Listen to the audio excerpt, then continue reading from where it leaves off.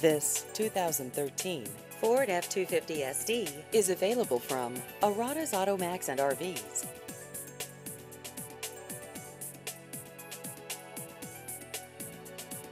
This vehicle has just over 66,000 miles.